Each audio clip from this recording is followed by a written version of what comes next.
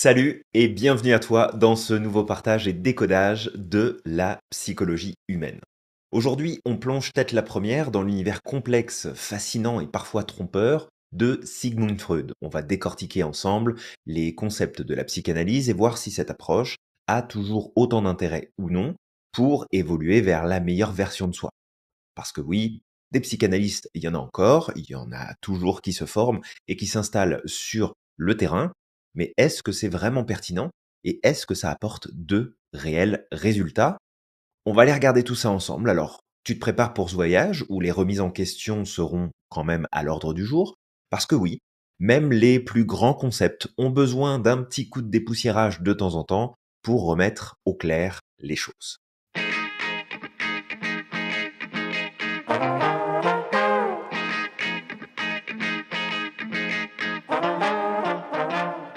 Commençons par le début.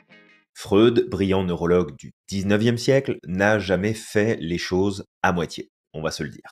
Plutôt que de se contenter de découvrir une petite théorie sympa, il a décidé de nous mettre tous face à trois grandes vexations.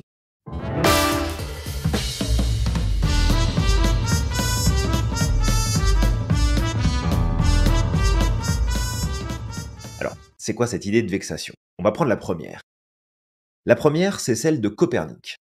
Non, l'univers ne tourne pas autour de la Terre et par extension, bah, il tourne pas autour de nous non plus. D'ailleurs, je t'invite à faire une petite expérience assez amusante. Tu prends ton polo, ton t-shirt, ta veste, tu regardes comme ça à l'intérieur et tu vois si le soleil tourne autour de ton nombril. Tu verras qu'objectivement, bah non, l'univers ne tourne pas autour de toi. Ensuite, on a Darwin qui a débarqué et qui est arrivé avec sa théorie de l'évolution pour nous faire redescendre un petit peu dans notre vision de l'humain et nous rappeler qu'en fait, bah, nous sommes des créatures euh, non pas divines, mais plutôt des cousins. Alors éloignés, d'accord, mais des cousins euh, des chimpanzés. Bon, déjà là, on vient prendre deux claques, on n'est pas au centre de l'univers, et en plus, on descend des animaux. Donc là, ça nous a déjà calmé un peu plus l'ego, mais Freud se dit, bah tiens, Là, moi, j'ai envie de rajouter encore une couche. Euh, il va rajouter un malaise en affirmant que, en fait, nous sommes non pas les maîtres de notre esprit, mais plutôt qu'on est à la merci de ce qui se passe à l'intérieur de notre esprit. Alors, est-ce que c'est sympa que euh, Papy Freud nous ait euh, donné cette information-là? Pas sûr que ce soit très apprécié, en tout cas à l'époque, de se rendre compte que finalement, dans une société ou dans un environnement dans lequel on essaye de grandir, de gagner du pouvoir et de la maîtrise sur ce qui se passe autour de nous, on se rend compte qu'en fait on est des petites marionnettes et qu'on se fait manipuler par notre esprit. Alors, pour Freud, tout ce que nous pensons, tout ce que nous faisons est en grande partie dicté par des forces qui sont inconscientes et qui échappent totalement à notre contrôle. Alors imagine un peu. Tu passes ta journée à travailler, à interagir avec les gens, à essayer d'être la meilleure version de toi-même, mais au fond, tout ça, c'est en grande partie gouverné par des pulsions que tu ignores totalement, mais qui te guident chaque jour pas à pas. Alors Freud a appelé ça la vexation psychologique. Et c'est là qu'il a commencé à se faire un nom, en nous expliquant que finalement, nous ne, nous ne comprenons rien de rien à nos propres désirs, que tout est refoulé, caché, enfoui dans notre inconscient et qu'on est à la merci en fait de tout ce bazar. Alors, petite anecdote ici.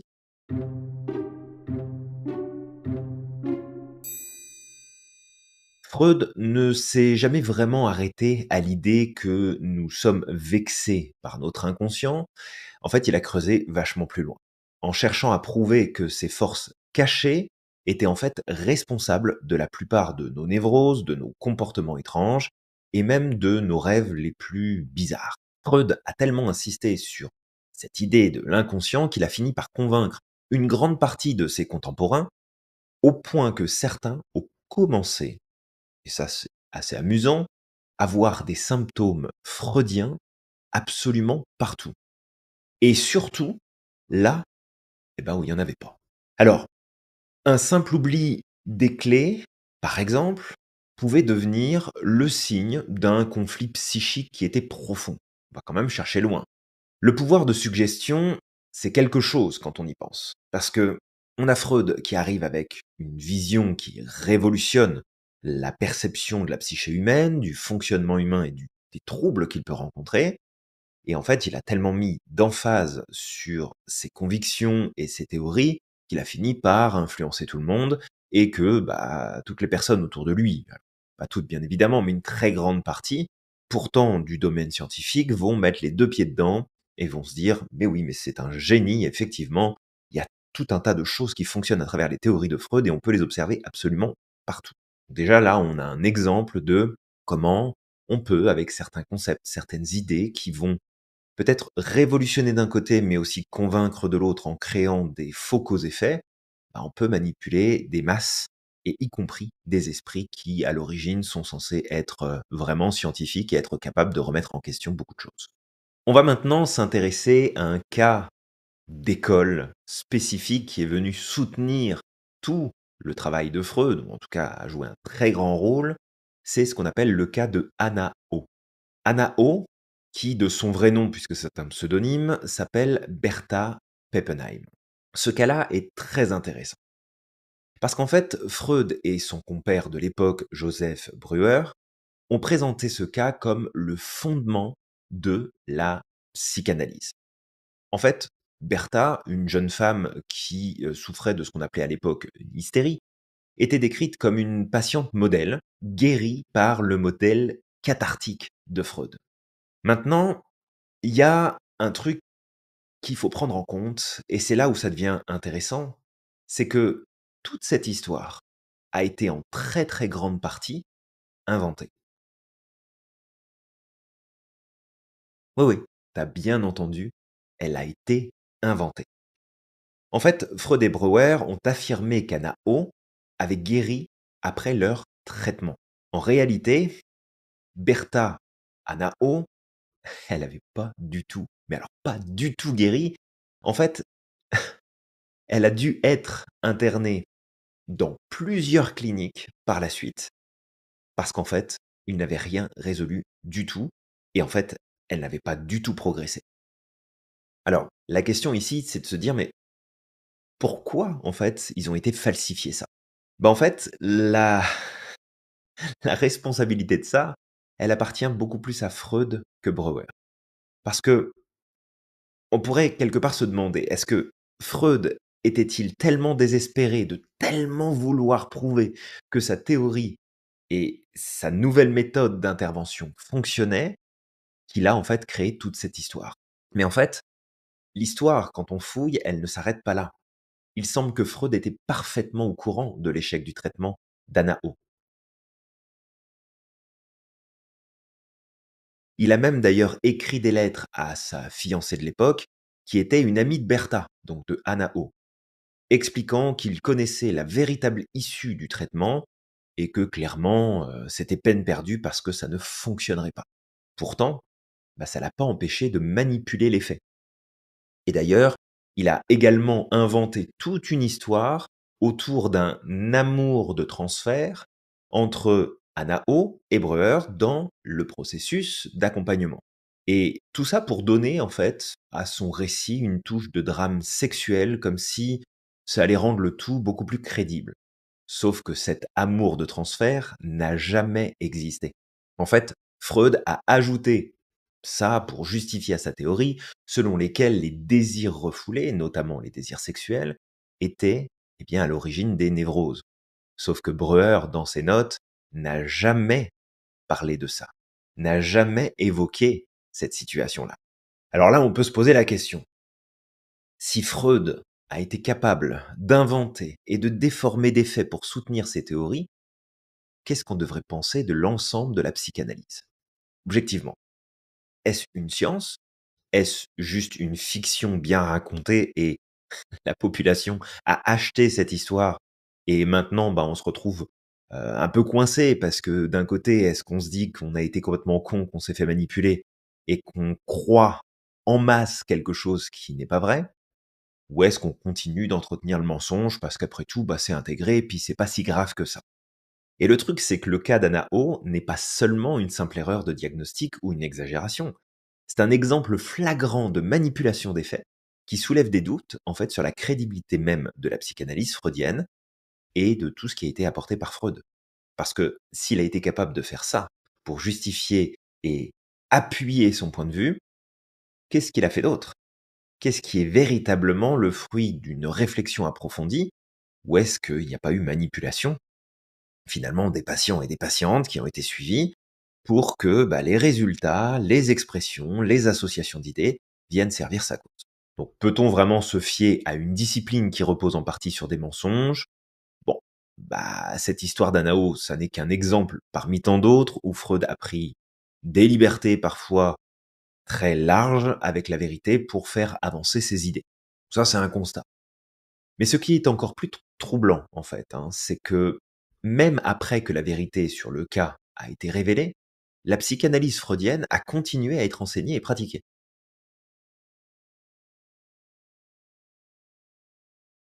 Et vraiment, on a fait comme si de rien n'était. Et aujourd'hui, si jamais tu t'intéresses à l'idée de te former en psychologie ou de devenir par exemple psychothérapeute, eh bien, tu te rendras compte que il y a toujours ces concepts qui sont présents. Si Freud est célèbre pour une chose, c'est bien pour son obsession du sexe. Il était orienté sur le sexe à un niveau tellement avancé qu'on aurait pu vraiment remettre en cause sa légitimité d'intervention et peut-être mettre un miroir en face de lui en lui disant c'est peut-être toi qui as un problème. Alors, bien sûr, on va prendre en contexte l'environnement, l'époque où finalement la sexualité était très tabou. Donc, ça peut aussi l'avoir amené à se dire, bah, ce sujet-là est très tabou, pourtant il fait partie du quotidien. Est-ce que, euh, est-ce que ça pose pas un problème finalement? Alors, il a travaillé beaucoup sur le complexe d'Oedipe, et en fait, le complexe d'Oedipe est probablement l'une de ses théories les plus célèbres. Cette idée est que chaque petit garçon est secrètement amoureux de sa maman et veut éliminer son papa. Freud était tellement convaincu en fait de la validité de sa théorie qu'il a fini par l'avoir partout. Il y avait des concepts de deep ici, là et, chaque, et à chaque fois en fait qu'un patient montrait un peu trop d'attachement à l'un de ses parents, et ben en fait euh, Freud y voyait un complexe deep. Mais ce qu'on oublie souvent, c'est que cette théorie, bien que fascinante, repose sur des interprétations assez libres et souvent biaisées en fait des comportements humains. Freud a commencé à développer cette théorie en observant ce qu'il considérait comme bah, en fait des récurrences, des modèles récurrents dans le comportement de ses patients, de ses patientes. Mais là encore, il semble que Freud a eu tendance à forcer un peu les faits pour les faire entrer dans son cadre théorique. Par exemple, il a souvent interprété des rêves comme des expressions déguisées de désir sexuel, même lorsque les rêves en question semblaient en fait euh, tout à fait innocents.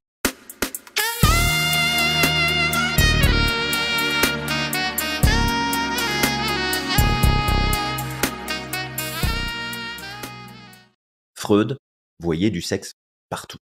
Au point même que certains de ses critiques ont commencé à se demander si c'était pas lui plutôt que ses patients qui avaient un problème, justement à ce niveau. Alors, il est plus là, on ne pourra pas le questionner sur la question, mais ici j'ai une petite anecdote à te partager.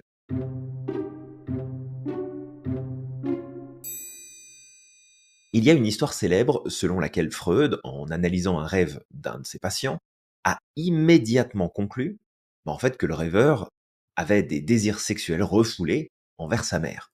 Le patient en fait, a été surpris et a clairement protesté en disant que ça n'avait aucun sens pour lui. Eh bien, Freud, fidèle à ses théories, il a insisté, expliqué que l'inconscient pouvait parfois être trompeur, même pour le rêveur, et qu'en fait, bah, euh, le patient était complètement en train de se fourvoyer, hein, il était dans le champ de patates, mais Freud avait raison. Alors, ce genre de raisonnement circulaire, où Freud en fait interprétait tout selon ses propres théories préétablies, a conduit certains à se demander si la psychanalyse n'était pas plus une affaire de conviction personnelle plutôt qu'une science véritable. Et c'est vrai qu'on est en droit de se demander si c'était pas vraiment le cas. Alors, si on prend le temps d'examiner de près la théorie du complexe d'Oedipe, on peut se demander si elle est réellement universelle ou si elle reflète davantage les obsessions non seulement personnelles de Freud, son histoire personnelle, son enfance, parce qu'après tout, Freud a grandi dans une société victorienne, assez répressive, où le sexe était un sujet tabou, comme je te le disais, et tout ça, ça pourrait expliquer pourquoi il voyait des désirs sexuels refoulés absolument partout. Mais à mesure que la société a évolué et que les attitudes envers la sexualité ont changé, heureusement, le concept d'Oedipe, la théorie d'Oedipe, a commencé à apparaître de plus en plus déconnecté finalement de la réalité des gens. Donc, on a eu un concept qui a été mis en lumière, il est rattaché à une époque spécifique, à un environnement, à des concepts, à des mœurs spécifiques, et avec le temps, bon, bah, on se rend compte que hmm, peut-être, peut-être pas. Pourtant, bah, elle continue d'être enseignée et d'être utilisée comme une base pour comprendre le développement psychologique des enfants, même si de nombreuses autres théories ont émergé depuis, mais celle-ci reste quand même au cœur des apprentissages. Alors, pourquoi s'accrocher à une théorie aussi controversée? Bah, Peut-être parce que Freud a tellement influencé la pensée psychologique qu'il est difficile de se débarrasser de son héritage, même finalement quand celui-ci est complètement remis en question sur certains points. Revenons un instant sur les débuts de Freud. Avant de devenir le pape de la psychanalyse, Freud s'est intéressé à l'hypnose, une technique popularisée par Charcot en France. L'idée était simple. Plonger le patient dans un état de transe pour faire remonter à la surface des souvenirs refoulés, des expériences passées, des traumas éventuels. Mais Freud, de son côté, toujours en quête de complexité, a vite réalisé en fait que l'hypnose, bien que fascinante, était trop simpliste à son goût, et en fait il a décidé d'aller plus loin en développant sa propre méthode, ce qu'on appelle la méthode cathartique, qui consistait à faire revivre aux patients ses souvenirs traumatiques pour les libérer. Peut-être que ça te fait écho à des méthodes comme le MDR par exemple. Le MDR, cette méthode où on va faire bouger les yeux de la personne de droite à gauche en lui permettant de reconnecter et de revivre le trauma jusqu'à ce que celui-ci soit traité différemment par le système. Ben, en fait, la catharsis, c'est un peu comme le travail de mémoire intensif. Le patient va être encouragé à répéter encore et encore et encore et encore ces expériences traumatiques jusqu'à ce que la douleur finisse par s'évanouir et soit remplacée par une sorte de compréhension plus profonde, une espèce de prise de conscience qui viendrait restructurer toute la perception. Mais ce processus, loin d'être une simple thérapie, est devenu pour Freud une véritable quête de sens où en fait, d'un seul coup, chaque mot, chaque geste du patient était analysé pour en extraire la signification cachée. C'est-à-dire qu'on ne pouvait plus rien dire, rien faire, on ne pouvait plus se gratter à un endroit ou à un autre sans que Freud commence à l'interpréter comme eh bien, un symptôme de l'expression des conflits internes qui pouvaient exister en nous. Freud croyait fermement que derrière chaque symptôme, il y avait un événement traumatique refoulé et que la seule façon de guérir, bah, c'était de le déterrer. Bon, le problème derrière ça, c'est que ça a amené l'apparition de troubles et l'apparition de raisons euh, derrière des choses qui étaient tout à fait banales finalement et qui a créé des problématiques qui n'existaient pas. Mais ça, bon, c'est encore euh, une autre histoire. Donc à travers tout ça, c'est là en fait que l'idée de l'inconscient est née, ce réservoir en fait qui est caché à l'intérieur de nous, qui contient nos souvenirs, nos désirs inavoués, parce qu'on est toujours sur l'aspect du désir, selon Freud, eh bien c'est tout ça qui gouverne notre vie sans que nous en soyons conscients une seule seconde. Peut-être ici une autre anecdote que je peux te partager.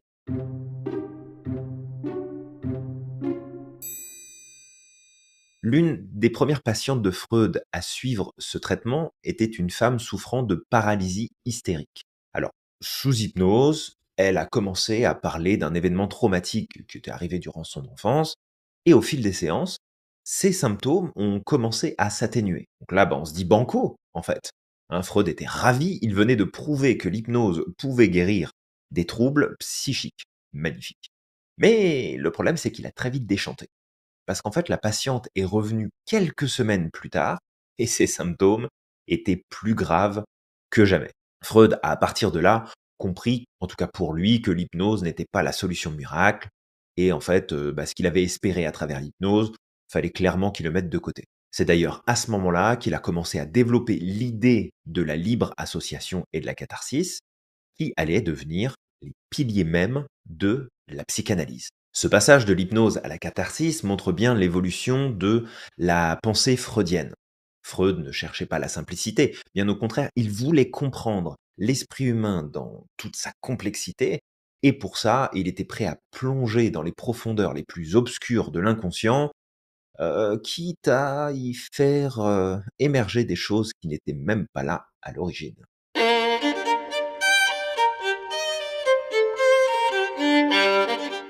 Mais dans cette quête de complexité, eh ben en fait, l'approche, elle a aussi ses limites. En refusant des solutions plus simples, mais pas pour autant simplistes, Freud a parfois perdu de vue l'essentiel, aider ses patients à aller mieux.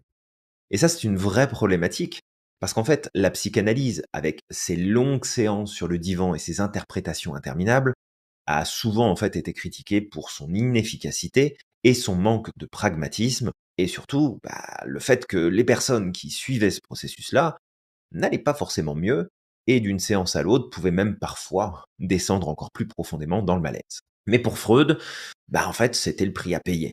Tu veux accéder à la vérité de ton inconscient, et eh bah tu payes le prix. Tu souffres, tu respires un coup, et tu te plains pas.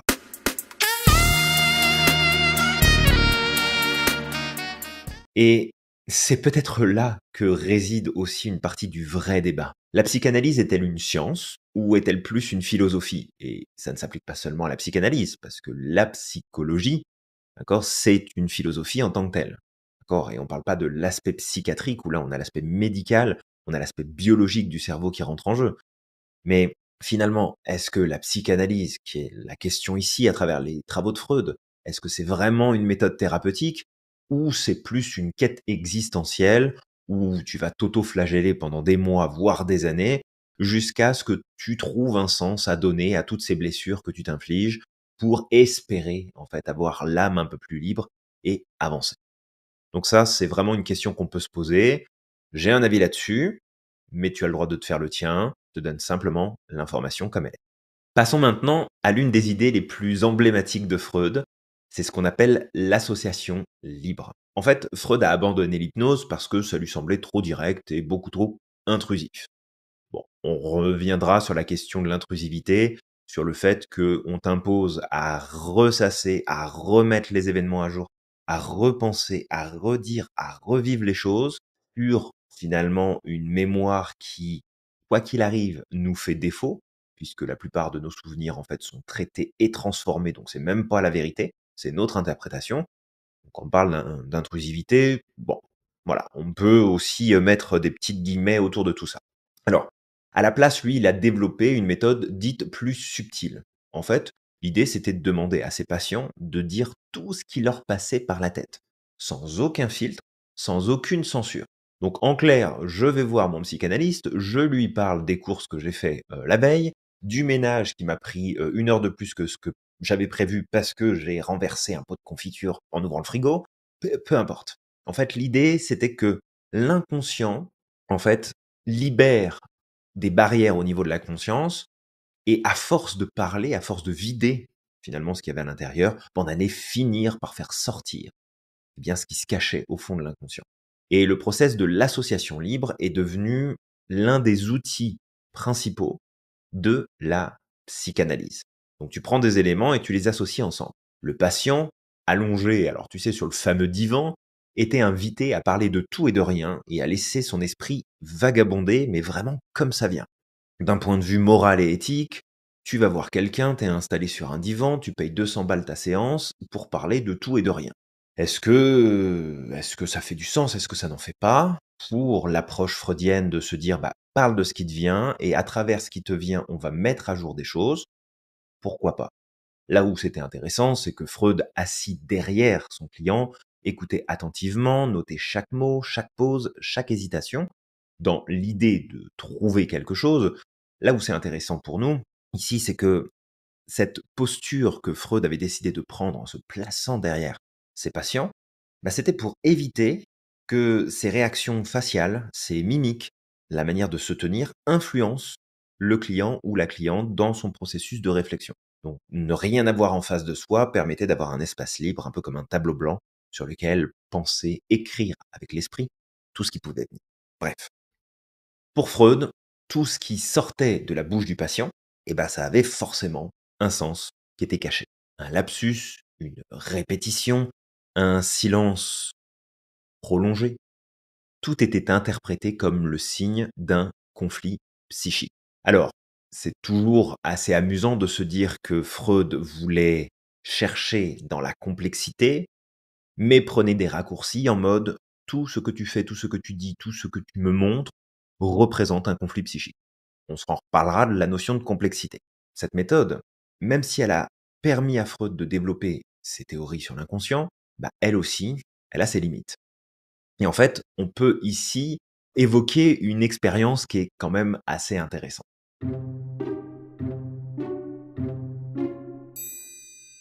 En fait, un jour, Freud recevait un patient qui, après plusieurs séances d'association libre, continuait en fait de répéter les mêmes phrases banales. Je ne sais pas quoi dire, je n'ai rien à raconter, je me sens vide, rien qui sort. Freud, à ce moment-là, il était frustré, parce qu'en fait, bah, il n'avait pas le matériel qu'il voulait avoir pour pouvoir justifier de son travail. Donc frustré, il a alors interprété ces répétitions en fait comme un signe de résistance, un refus inconscient de faire face à la vérité. Comme tu ne veux pas me dire ce que j'attends de toi, et eh ben en fait tu es responsable, ton système résiste et en fait tu ne veux pas faire face à la réalité et à la vérité que contient ton inconscient. En réalité, il semble que le patient en fait n'avait tout simplement rien à dire et qu'il avait pas vraiment de conflit caché, pas de trauma refoulé non plus, juste en fait qu'il était probablement là de, vivre cet ennui face à une méthode qui en fait, bah, ça tournait en rond et euh, ça lui apportait pas grand-chose. Mais Freud, de son côté, ça, il voulait pas l'admettre. Non. En fait, pour lui, chaque mot, même le plus insignifiant, bah, ça a une signification profonde, quel que soit le mot. Et en fait, c'est de cette euh, obsession de l'interprétation qui a conduit à certains de ses contemporains à critiquer en fait la psychanalyse comme étant beaucoup trop subjective et trop basée sur des conjectures qui sortaient un petit peu de nulle part. L'association libre, tout comme la résistance, est un concept qui est fascinant, mais tout aussi problématique dans le concret. Si on pousse, par exemple, cette idée trop loin, on en arrive à une situation où tout peut être interprété, où rien n'est jamais ce qui semble être. Donc, dans ce cas-là, quand tu es en discussion avec quelqu'un, un silence devient le signe d'un conflit intrapsychique. La personne qui vient se gratter le nez, c'est parce qu'elle n'ose pas partager quelque chose. La personne qui répète trois fois le même mot parce que elle, essaye de formuler son, discours, eh ben en fait, c'est un désir refoulé. Et en fait, tous ces points-là, on sent quelque part, en fait, que il y avait comme un désir de Freud de ne pas nécessairement remettre en question ses propres vérités, mais plutôt de remettre sur l'extérieur des explications logiques pour appuyer finalement sa vision et appuyer ses concepts en disant ben non, c'est ça, c'est ça la vérité. Mais on est quand même en droit de se demander finalement, elle s'arrête où l'interprétation? Et où commence le rôle de l'imagination?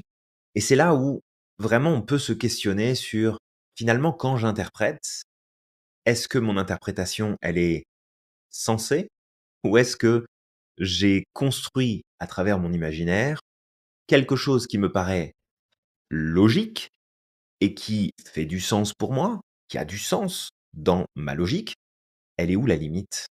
Elle est où le, la frontière? Et quelque part, c'est là que réside le danger de la psychanalyse. Elle peut facilement devenir une sorte de jeu de devinette où le psychanalyste en quête de sens caché, finit par voir des problèmes là où il n'y en a pas. Ah oui, mais vous avez parlé de ça, oui, mais ce mot-là, mais pour quelle raison vous utilisez ça? Et qu'est-ce qui fait que vous utilisez ce mot plus que ça? Oh, votre silence a duré une seconde de plus que le précédent. Ah, vous avez changé de posture. Tiens, c'est étrange, votre voix a modifié son ton. Qu'est-ce que cela peut signifier? Alors, attention, ça ne veut pas dire qu'il n'y a pas des choses à comprendre derrière ça, et que, on le sait, notre discours, nos mots, nos paroles sont représentatives à un niveau secondaire de ce qui se passe à l'intérieur de notre esprit. Mais est-ce qu'on doit tout interpréter? Est-ce qu'on doit tout observer? Est-ce qu'on doit rebondir absolument sur tout et passer des années à décortiquer des choses qui, peut-être, n'ont même pas existé? Donc, c'est très important de garder ce concept-là, pas pour dire je prends les travaux de Freud et je les fous à la poubelle, mais plutôt remettre de la perspective et se poser des questions plus pertinentes pour avancer dans une meilleure direction. Passons à un concept un peu moins connu, mais qui est tout aussi fascinant dans l'univers de Freud. On appelle ça la perlaboration. C'est un peu comme l'étape de digestion après un bon repas copieux de fête de fin d'année, par exemple. Sauf que là, bah, au lieu d'avoir rempli ton estomac, bah, c'est ton esprit qui est rempli et il a besoin de digérer. Alors, Freud a observé que pour vraiment surmonter les résistances psychiques, il ne suffisait pas de faire une prise de conscience rapide et superficielle. D'ailleurs, dans nos enseignements à l'Institut Merlin, quand on parle de prise de conscience, on intègre vraiment la notion de prise de conscience comme quelque chose qui s'intègre dans l'intégralité de l'expérience. C'est pas juste ah bah je viens de comprendre un truc. Non, parce que ça, ça reste au niveau euh, finalement de la réflexion. Mais c'est vraiment je le comprends, je le ressens, je le sens je l'incarne dans mon comportement. Et ça, c'est une vraie prise de conscience. D'ailleurs, on en reparlera dans d'autres vidéos, mais ça se rapproche finalement beaucoup de la vision des thérapies cognitivo-comportementales, donc le, courant cognitiviste, qui va nous montrer en fait qu'il y a trois niveaux sur lesquels on doit intervenir et qui s'interinfluencent le mental, les émotions et le comportement. Et ça, c'est une autre histoire. Donc, il faut répéter, repasser, remâcher les mêmes idées encore, encore, encore et encore, jusqu'à en fait qu'il y ait quelque chose qui se transforme et quelque chose de profond qui se mette en place. Et c'est ça la perlaboration.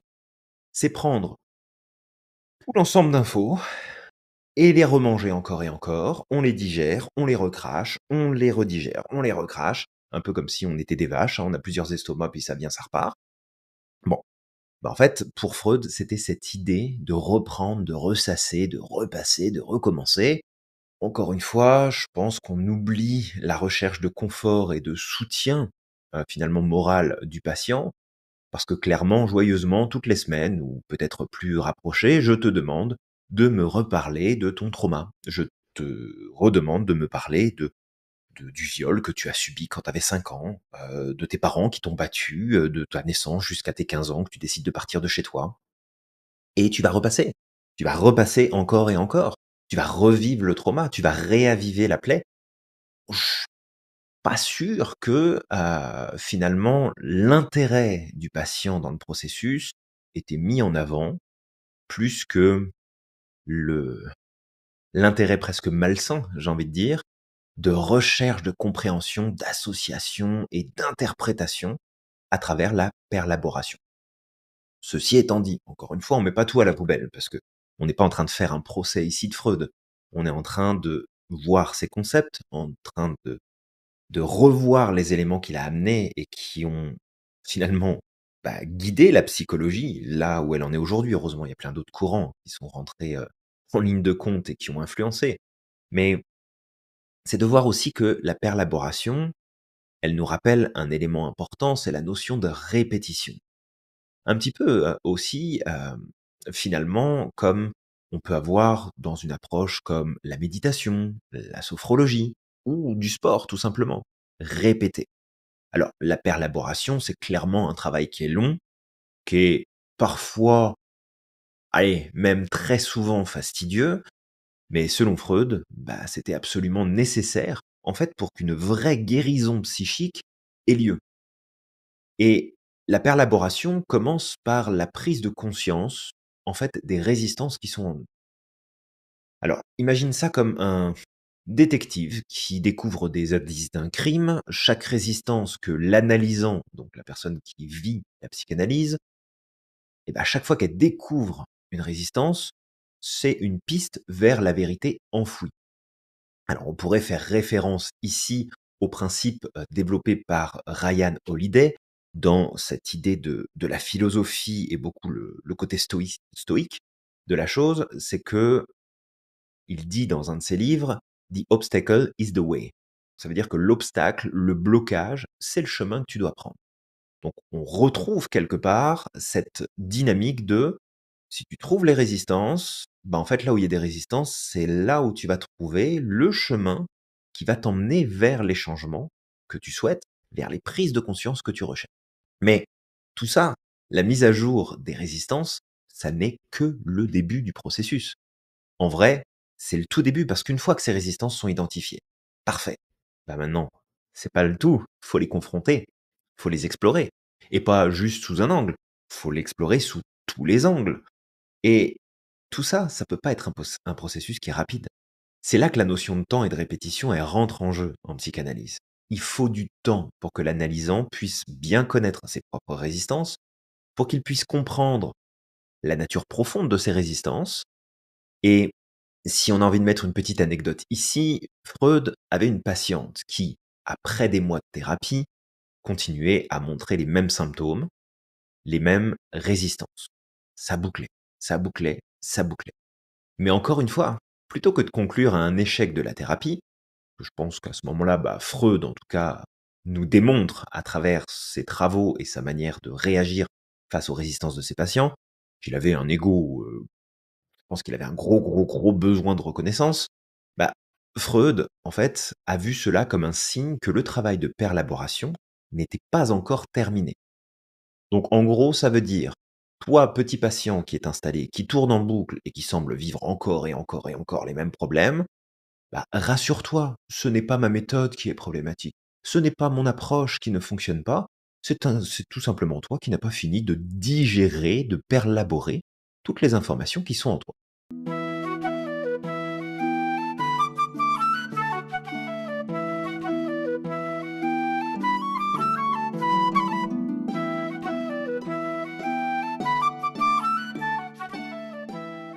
Donc qu'est-ce qu'il a fait Freud? Bah, Il a continué, séance après séance, à faire revenir cette patiente sur les mêmes sujets, sur les mêmes souvenirs, sur les mêmes traumas. Quelque part, oui, il y a certainement le fait qu'on va faire confiance au thérapeute qu'on va consulter. Il y a aussi l'effet de supériorité, finalement, c'est quelqu'un qui comprend la psyché humaine, c'est quelqu'un qui a les clés. Donc, si je dois souffrir pour le faire, bah, je vais lui faire confiance. Mais c'est pas très cool pour la personne. On peut se poser la question ici, qu'est-ce qu'il est advenu de la personne? Bah en fait, un jour, presque miraculeusement, il y a un déclic qui s'est produit et les symptômes ont commencé à disparaître et la patiente a enfin pu avancer. C'est super.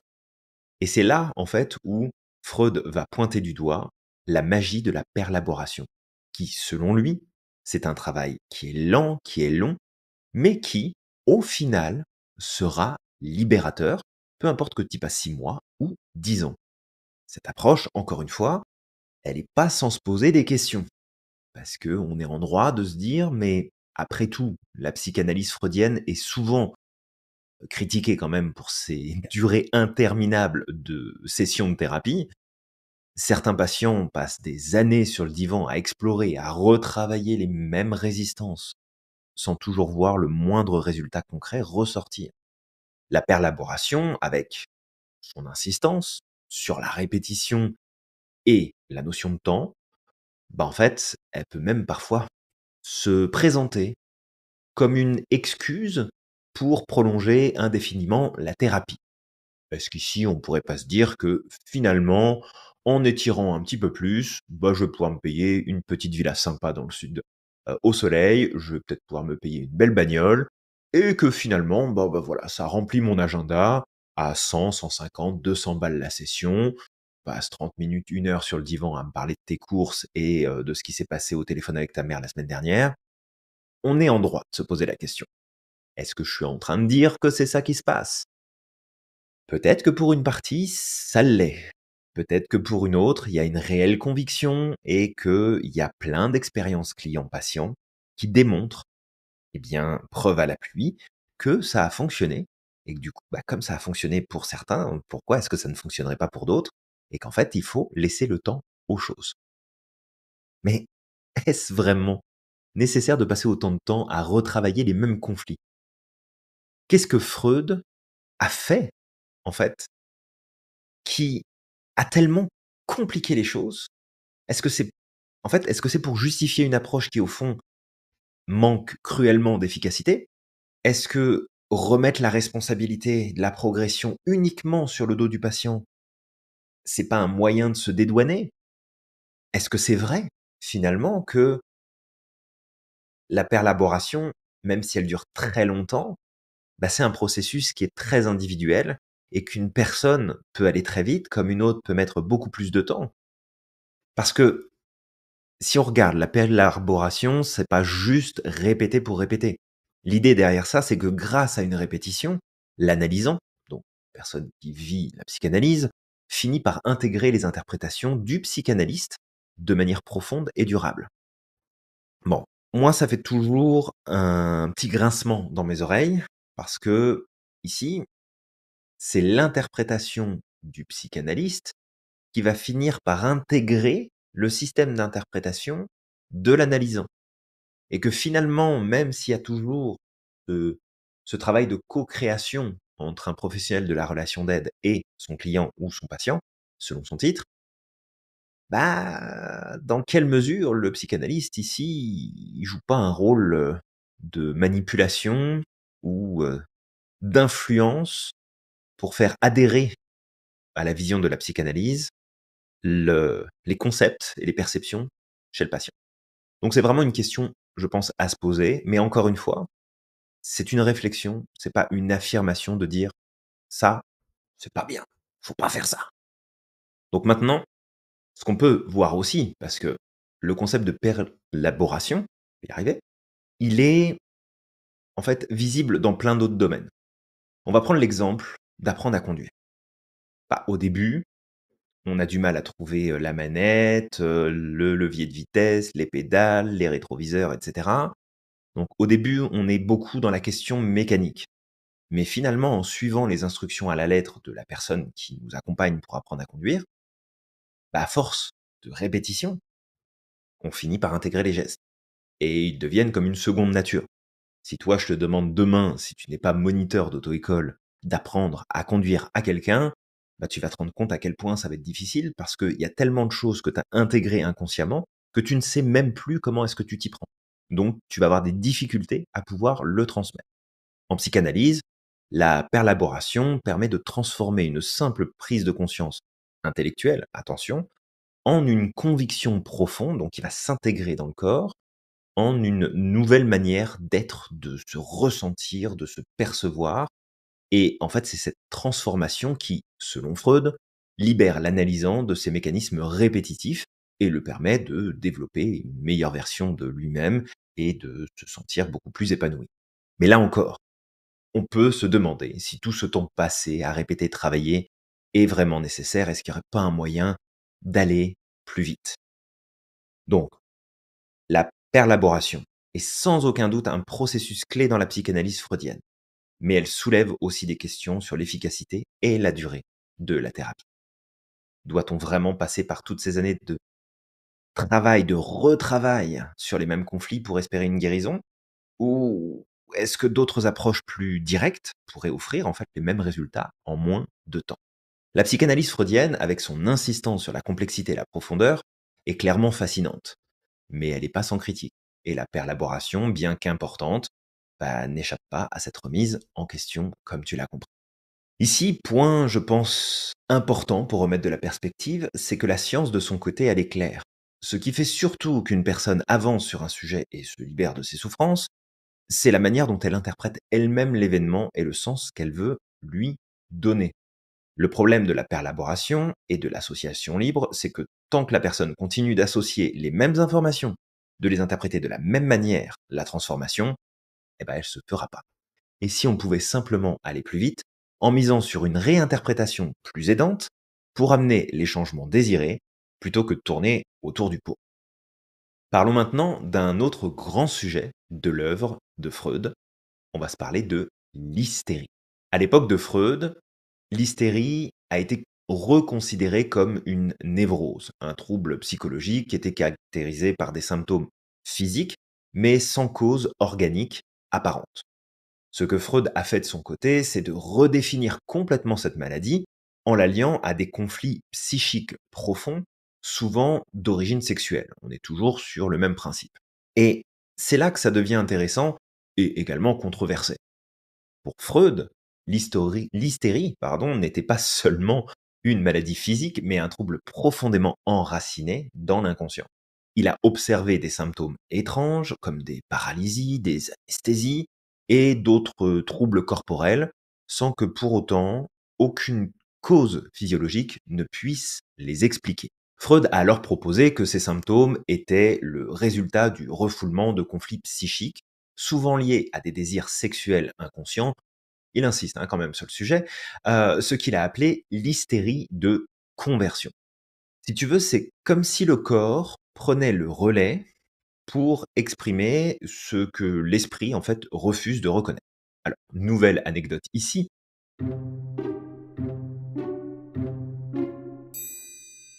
Euh, un cas célèbre est celui d'une femme qui, après avoir subi un choc émotionnel fort, a développé une paralysie au niveau de la main droite. En fait, les médecins n'ont trouvé aucune cause physique à cette paralysie, et il n'y avait aucune explication. Et c'est là que Freud, en fait, est intervenu. À travers la psychanalyse, il a découvert en fait que cette femme avait refoulé un désir de frapper quelqu'un, un désir qu'elle jugeait inacceptable. Bon, ce désir, il est refoulé. Comme je ne peux pas mettre une mandale à la personne à qui j'ai voulu remettre les idées en place, et bah du coup, ça vient me paralyser la main. Alors c'est vrai que on se dit ah bah c'est marrant, tiens ça se lit, ça fait du sens, etc. Est-ce que c'était vraiment le cas? Est-ce que c'était pas le cas? Mais en tout cas, en libérant ce désir à travers la parole, bah la patiente elle a fini par retrouver l'usage de sa main. Et ce genre de cas a convaincu Freud que l'hystérie était une manifestation physique des conflits internes psychiques, une théorie qui allait clairement révolutionner la psychologie à l'époque. Et on garde encore aujourd'hui justement le principe, entre autres, de dissonance cognitive qui peut amener des, des symptômes physiques, faire apparaître des troubles physiques, alors que l'origine en est avant tout émotionnelle ou psychique. Mais Freud, parce que bah, il aime bien aller au bout des choses, hein, comme tu le sais, il s'est pas arrêté là. Il a aussi identifié ce qu'il a appelé l'hystérie d'angoisse. En fait, plutôt que d'avoir un conflit psychique qui se manifeste par des symptômes physiques, et eh ben en fait cette fois-ci, ça se manifestait par une anxiété qui était intense. Donc au lieu d'avoir la main bloquée, bah t'étais en petite boule parce que t'étais étais tellement rattaché à tes peurs, étais tellement dans un affect profond bah, que ça ressortait finalement par des ressentis et des perceptions. Et ici, cet affect refoulé, plutôt que de se convertir vraiment en un symptôme qui apparaîtrait dans le, dans le physique, dans le comportement, bah, c'est juste que tu es pris d'une angoisse, ça serre à la gorge, ça serre au ventre, et ça peut amener jusqu'à te paralyser littéralement. Parce que, bah, après tout, dans les crises d'angoisse, c'est pas rare aussi qu'on trouve des crises de tétanie qui se provoquent et que bah y a cette paralysie, mais c'est l'émotionnel, c'est la, tension interne qui va ressortir à ce moment-là. Freud voyait en fait dans tout ce qui était cette angoisse, bah, l'expression d'un conflit inconscient. Et toujours pareil, hein, c'était soit des peurs profondes, soit des désirs inavouables, souvent en lien avec, euh, bah, je te le donne dans le mille, la sexualité. Alors, encore une fois, cette vision, elle a des limites, parce qu'en réduisant l'hystérie à un simple conflit sexuel refoulé, Freud a peut-être manqué d'autres aspects importants de ce trouble, comme des facteurs sociaux, des facteurs culturels, euh, des facteurs familiaux, éducatifs, qui peuvent aussi jouer un rôle important. Alors, ce qui est fascinant, c'est que l'hystérie, en fait, elle a une longue histoire. Bien avant Freud, hein. tu remontes aux Égyptiens, l'hystérie, en fait, chez eux, ils pensaient que l'hystérie était causée par un utérus qui se déplaçait dans le corps. Bon, c'est très particulier, c'était rattaché à la femme, c'est une idée en plus qui a persisté pendant des siècles. Hein. Donc te dire en fait que t'as l'utérus qui se balade un peu partout et que c'est à cause de ça, parce qu'il est plus à la bonne place, qu'en fait, bah, heu, tu rencontres les problèmes que tu rencontres. Est-ce que ce serait pas plutôt parce que, durant ces époques-là, bah, la femme avait une place toute particulière et qu'à part, heu, répondre aux exigences de son environnement, bah, ce qui lui était important, le respect, ses passions, ses envies, ses valeurs c'était pas vraiment au cœur de l'intérêt, finalement, de la société. D'ailleurs, au Moyen Âge, l'hystérie était associée aux sorcières, pour te dire, hein, parce que, c'était les sorcières, pas les sorciers. Il y a quelques hommes qui ont été, pourchassés pour, pour sorcellerie, mais clairement, le terme, c'est sorcière, hein. D'être possédées par des esprits maléfiques, c'était ça l'hystérie, c'était, cette idée d'être possédé par quelque chose. Et puis après, bah, c'est au 19e siècle, l'hystérie qui a été souvent vue comme une, simulation, une manière, en fait, pour les femmes d'attirer l'attention.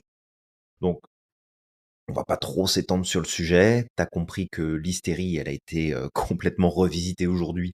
Heureusement, on ne voit plus les choses sous cet angle-là, mais ça a quand même duré pendant longtemps où finalement, bah, on est passé de: «J'ai l'utérus qui se balade dans mon corps, et c'est ça qui me rend, complètement insupportable et en fait, bah, les hommes ne me supportent plus en tant que femme, donc c'est moi le problème» à, finalement, bah, en fait, je suis une sorcière, je suis possédée par les esprits pour ensuite, passer à: «Non mais madame est simplement en train d'essayer d'attirer l'attention, elle est un petit peu capricieuse. Bon, c'est pas grave, voilà, sortez-la un petit peu, emmenez-la faire un pique-nique, augmentez le nombre de relations sexuelles que vous avez avec elle, ça va la calmer et puis on va passer à autre chose». Bon. On en pense ce qu'on veut, mais clairement, c'est moyen, quoi, c'est moyen. Alors si on en revient à Freud, parce que c'est quand même notre sujet principal ici, en liant l'hystérie à des conflits psychiques et à la sexualité, bah, ça a bouleversé, en fait, toute la vision de l'hystérie. Mais à travers ces bouleversements, il a aussi créé des controverses, notamment en étant insistant, très, très insistant, sur le rôle de la sexualité dans l'étiologie de l'hystérie. Donc quand on dit étiologie, bah, en fait, c'est les origines de l'hystérie. Bon, je pense que c'est clair. Tu dois probablement avoir cette vision maintenant qui se développe toi aussi. Pour certains, déjà à l'époque, Freud, bah, en fait, il voyait du sexe absolument partout. Heu, est-ce que c'était pas lui qui avait des désirs refoulés? Est-ce que c'était pas lui qui avait besoin de tout expliquer à travers ses propres complexes? On sait pas. En tout cas, pour l'histoire, Freud a profondément, mais vraiment profondément été influencé par Jean-Martin Charcot, qui a été son mentor, qui a démontré que les symptômes hystériques pouvaient être provoqués ou supprimés par l'hypnose.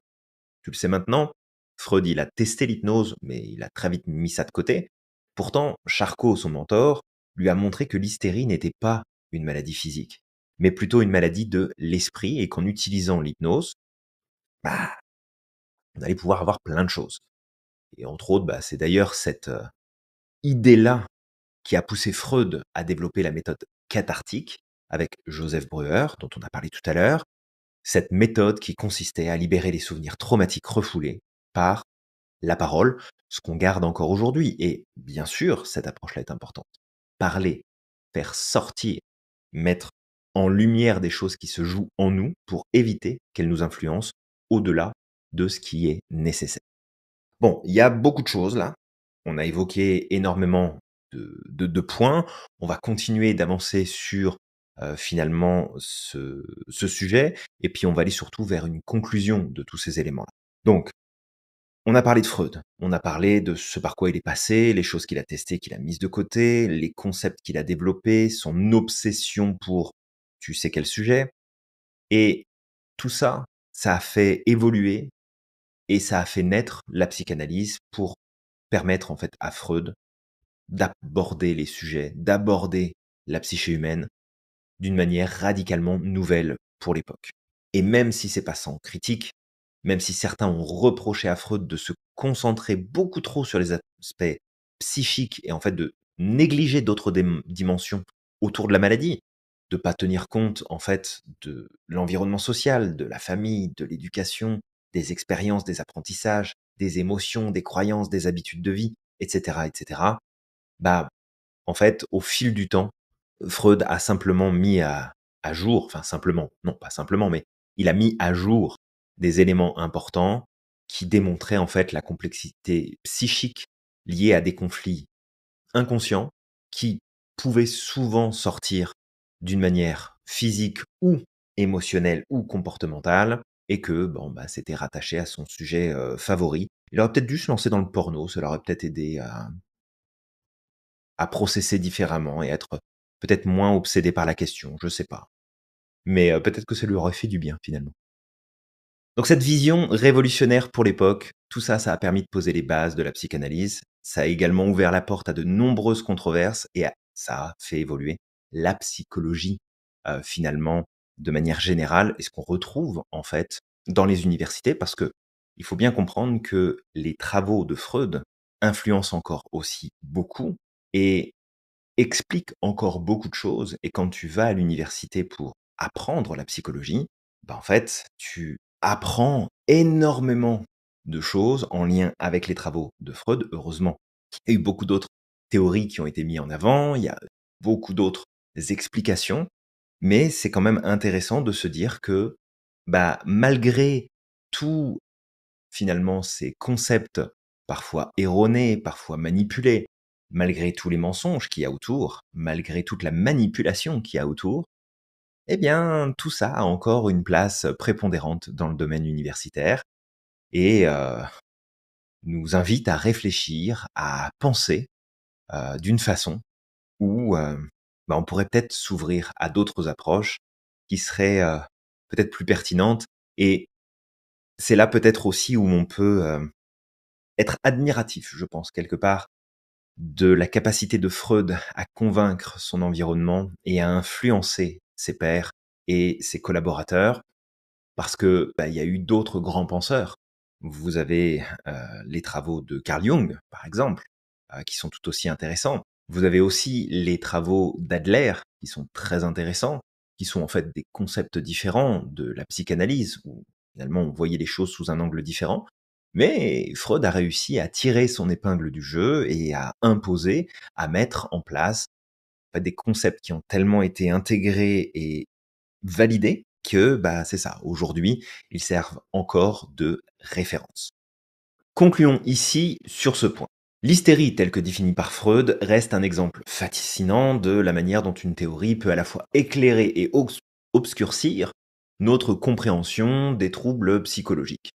Clairement, ça a mis des limites, mais ça a ouvert d'autres portes et ça, en fait, si Freud a incontestablement ouvert des voies nouvelles dans l'étude de la psyché humaine, eh ben, il faut prendre en compte qu'il est essentiel aussi de reconnaître les limites et les biais qui sont derrière ces théories, comme la plupart des théories. La psychanalyse freudienne, avec son obsession pour le sexe et l'inconscient, a offert une nouvelle grille de lecture des maladies mentales, mais elle a aussi laissé de côté d'autres aspects tout aussi cruciaux. Alors voilà, on arrive à la fin de cette plongée profonde dans l'univers de Freud, un univers où les théories sont parfois aussi obscures que l'inconscient qu'elle prétend euh, explorer. Alors, le plus important par rapport à tout ça, c'est c'est quand même un univers qui mérite d'être questionné, critiqué, revisité et bien sûr d'intégrer des éléments qui ont, malgré tout, permis de mettre en lumière des fonctionnements de la psyché humaine et de l'évolution de la psyché de l'enfant vers l'adulte, parce que Freud, il a ouvert des portes, il a ouvert une nouvelle manière de comprendre l'humain, il n'a pas forcément et nécessairement fourni toutes les réponses, parce que sinon ça voudrait dire que tous les travaux qui ont été faits après, bah, ils n'avaient pas vraiment de sens. Et en fait, c'est à nous aujourd'hui de continuer à explorer, à douter, à remettre en cause, parce qu'après tout, bah, est-ce que c'est pas là qu'est le véritable esprit scientifique? C'est de se dire que oui, il y a des choses, oui, il y a des concepts, mais est-ce qu'on doit toujours les prendre comme tels? Est-ce qu'on ne doit pas les remettre en question? Est-ce qu'il n'y a pas moyen d'évoluer différemment? Et heureusement, eh bien, il y a plein d'autres sujets que nous allons aborder dans d'autres vidéos comme celle-ci. Et euh, j'espère que tu trouveras euh, de l'information, de la compréhension. Tout ça va t'aider à avancer dans ta perception de l'humain. Alors ici, laisse-moi te remercier pour ton attention sur ce nouveau sujet qu'on partage aujourd'hui euh, euh, de la part de l'Institut Merlin. J'espère que tu as pris du plaisir, que tu as appris et remis en perspective de nombreux points dans ta compréhension de ces concepts freudiens et de la psychologie humaine. Donc à partir de là, On va t'inviter à partager tes réflexions dans les commentaires, à liker, bien sûr, si tu as aimé, à t'abonner pour d'autres explorations des mystères de l'esprit humain et de la psychologie appliquée, et partager eh bien, ce contenu à d'autres personnes si tu sens que ça peut leur être utile. Alors, comme à l'habitude, tu n'oublies pas que tu es magique et que tu as le pouvoir de réaliser absolument tout ce que tu souhaites, et on se dit à très vite pour une prochaine exploration de la psychologie pour les coachs. Tu as un projet professionnel qui te tient à cœur. Tu veux être certifié professionnellement en coaching et en relation d'aide. Tu souhaites suivre une formation complète et certifiante reconnue à l'international. Si oui, nous avons sûrement une solution pour toi. Nous formons chaque année des coachs certifiés en programmation neurolinguistique, sophrologie, psychologie positive et hypnose. Si tu veux être accompagné de A à Z, y compris dans le développement de ton activité, Si tu veux avoir entre les mains toutes les techniques et stratégies les plus puissantes qui existent en coaching, alors tu es à la bonne place. parlons ensemble de ton projet de certification pour valider ton objectif et t'assurer un chemin direct vers les résultats que tu souhaites. Contacte-nous aujourd'hui au numéro qui s'affiche ou en scannant le QR code avec ton smartphone. Ça va nous faire plaisir de te guider dans la réalisation de ton projet. D'ici là, rappelle-toi d'être extraordinaire chaque jour. Et n'oublie pas à quel point tu es magique et que tu as le pouvoir de réaliser absolument tout ce que tu souhaites. À tout de suite.